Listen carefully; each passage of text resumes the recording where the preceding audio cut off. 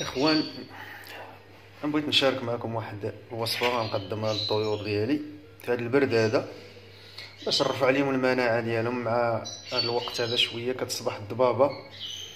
والطيور أنا دايرهم الفوق في السطاح واحد السلاكة يعني آه، كتدخل عليهم هذيك الضبابة والحال بارد. ونرفعوا لهم المناعة ديالهم شوية باش يباتوا دافيين. خصنا نعطيهم شوية ديال ديال فهاد الوصفة هادي.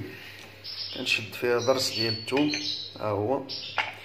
الزنجبيل طري. والحامض والماء.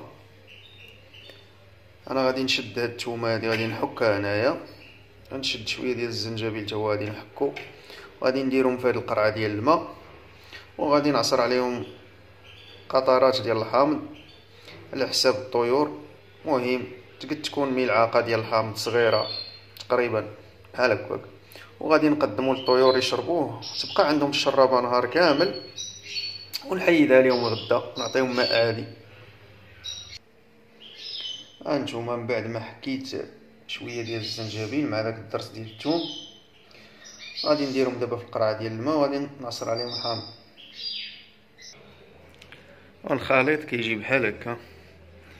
يعني وكتقدموا للطيور يشربوا منه باش كترتفع المناعة ديالهم ويحميهم من ضربات البرد.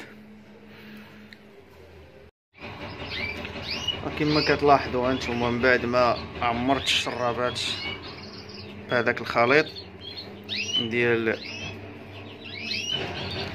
الزنجبيل والحامض والماء أنا غادي نقدمو للطويرات. ها نتوما كما كتلاحظوا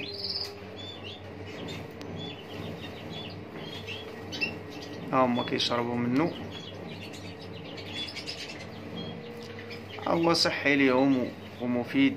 نتمنى أنكم ما تحرموش الطيور ديالكم منه. بالخصوص في البرد هذا على الأقل تقدموا عليهم واحد على حساب الجو. يعني داك الشيء كيبقى عينك ميزانك. واحد خمس أيام سيمانه عشرة أيام.